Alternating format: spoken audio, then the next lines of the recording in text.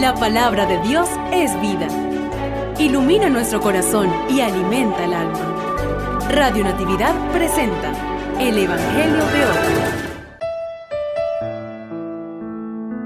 Lectura del Santo Evangelio según San Marcos, capítulo 1, versículos 21 al 28.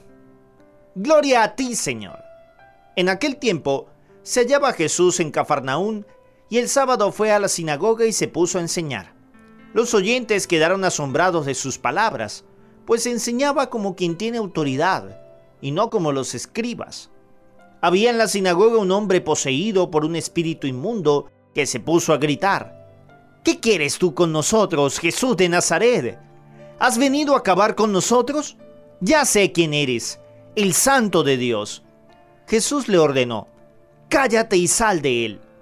El espíritu inmundo sacudiendo al hombre con violencia y dando un alarido, salió de él.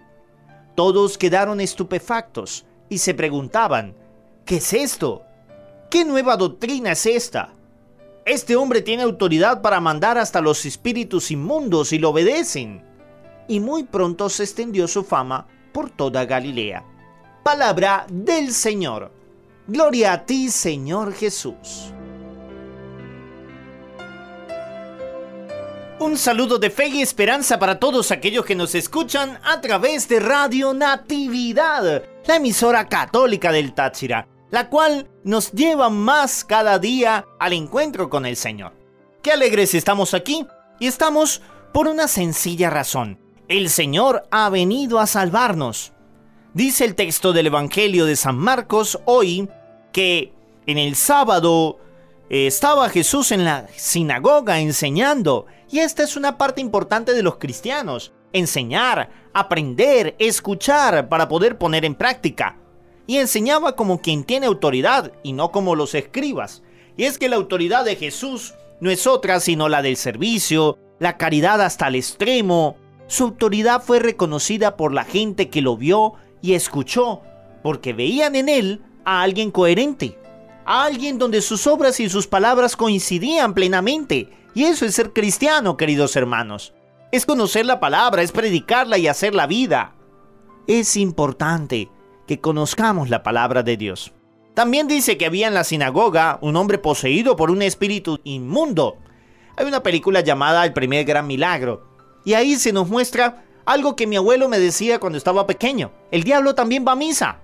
Y sí, va a misa entra al templo, pero no para adorar a Dios, sino para profanarlo y para hacernos pecar. ¿Y en cuántas ocasiones ustedes y yo somos presa fácil para el diablo en el mismo templo?